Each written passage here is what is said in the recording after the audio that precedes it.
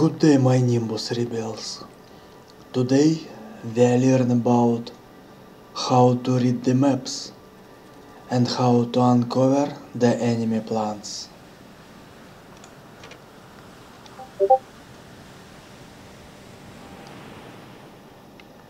Good start geyser for my enemy, but only the one. Good first outpost for the enemy. He will play the Sun Rush or the Wind Rush. His first post and his second post. I have one good start geyser so I can play Wind Rush or Rain Rush. My first post is this location because the enemy will post west side, I will post the east side. This side is empty, so I take this island, this island, and come back to home and rearm.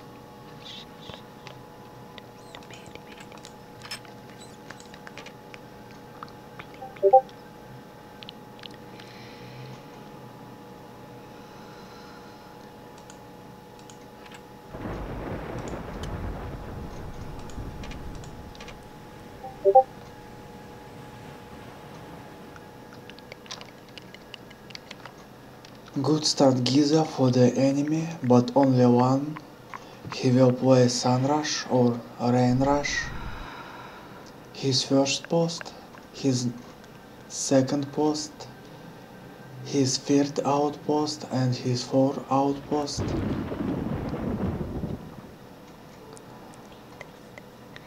I have one start geyser, so I will play something Sun Rush or Rain Rush. My first outpost, second outpost.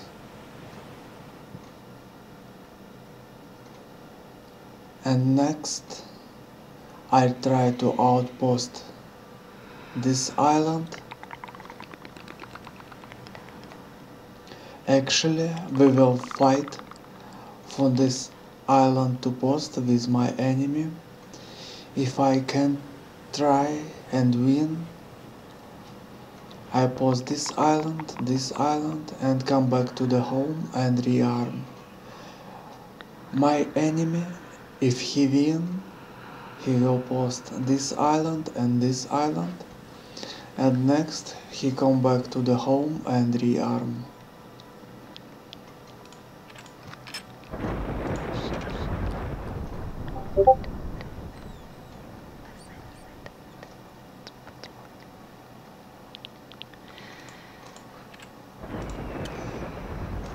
You can ask me why do I think my enemy will act like this but not different?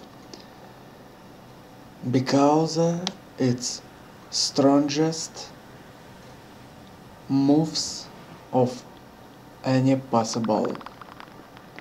If he play different, he just make the situation a worse for himself.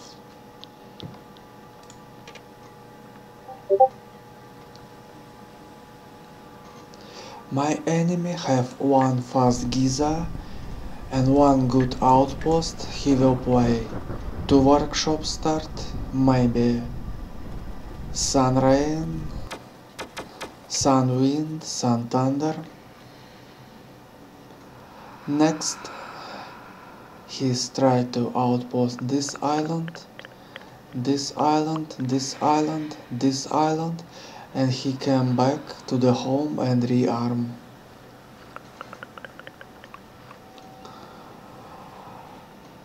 I have good start geysers, can connect it by 2 PS and third geyser is close to. I can play 2 workshop start, my first outpost, my second outpost and we will fight for this outpost with my enemy. So me and my enemy will play two workshop start. It will be long and positional battle with a lot of bridges. The map seems fair.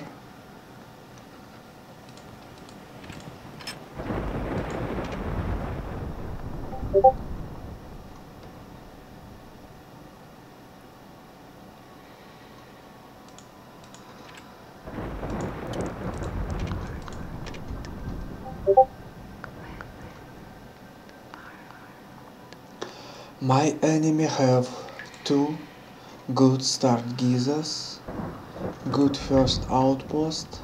He can try to windrush me and spam a lot of crossbows.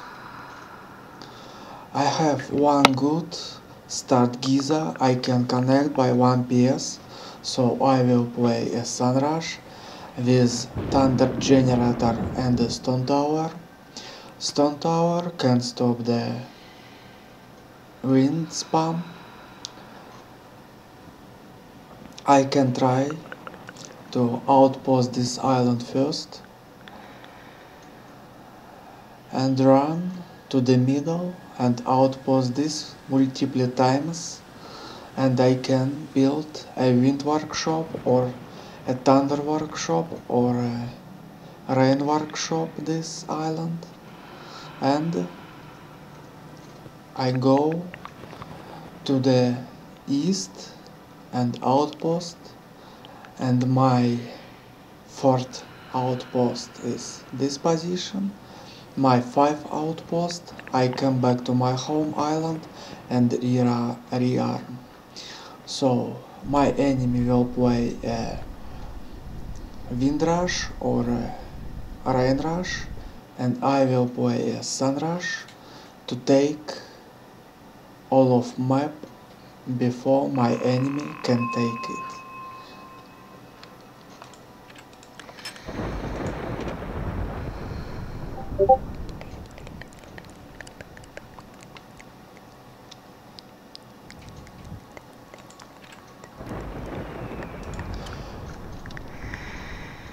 If you wanna be a good Netstorm player, you must think not only about himself but about your allies too.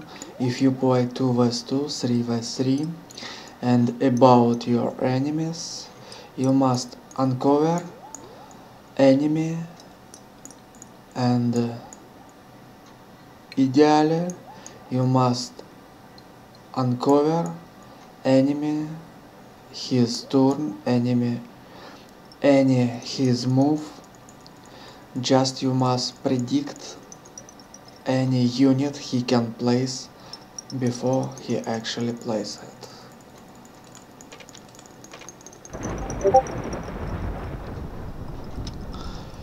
My enemy have one start geyser.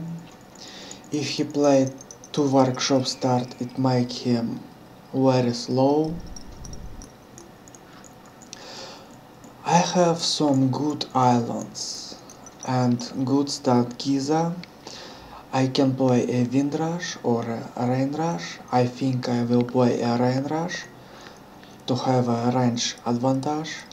So I place my first post this island, my second outpost, my third outpost and nothing to post. I just come back to the home and rearm. My enemy will play one workshop start and he tried to outpost this island, this island and this island. But I guess the blue player have a huge map advantage this time and the blue player can win it without any problems.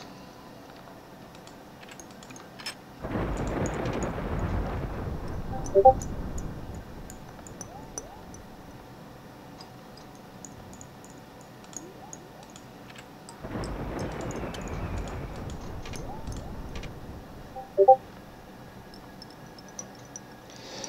enemy have two stat geysers, he will play to workshop start. He can try to post this location, this location. Next he is go to the west to outpost this island, this island and this island.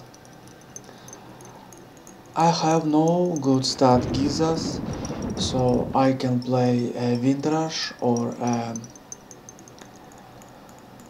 Rain Rush and I post this island.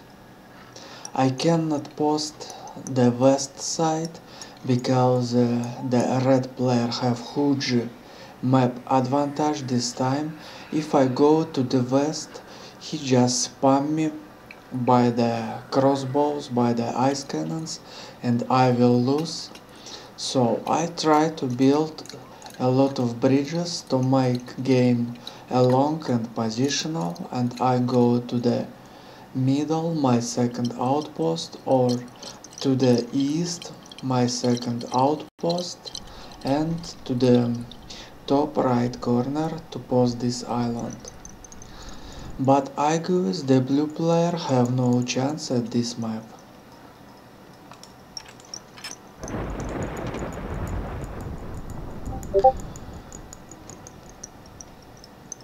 I think you got the goal how to read the maps and how to uncover the enemy plans. Let's try to read the last map. It's all about practice and you must play the same person again and again to know his style. I have good start geysers can connect it by one PS my enemy have one good start geyser, he will play a Sun Rush or a Rain Rush, good first outpost, so I know he will rushing. I can play any combination of Sun Rain or Wind Rain. I think I will play um, sun and rain, my first outpost, and I go to the west, my second outpost, my third outpost, and I come back to the home island and rearm, and next I will post the east side to take these islands. My enemy can take these islands, these islands, or these islands, but he have not much geysers. So all he can do is come back and post this island or he come back and post this island and this island. Anyways, I will have a much more of the map and in long and positional fight I have much more geysers and I am sure I can win this map.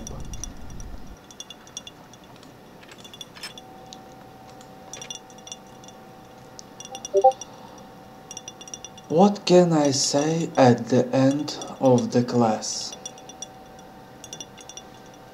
While temple is under construction you have about 10 to 10 seconds you can spend to make viewpoints, check the enemy, make the viewpoints on the enemy, something like shift 4 you can think about the enemies, about his strategy, try to uncover him and and it make your chances to win the map just much higher. Some players I think the best skill in Netstorm is a unit placement. All the players, I think the best skill in Netstorm is the speed. But in my opinion, the best skill in Netstorm you can have is the map reading and the enemy uncover. That's all for today. Good luck my rebel.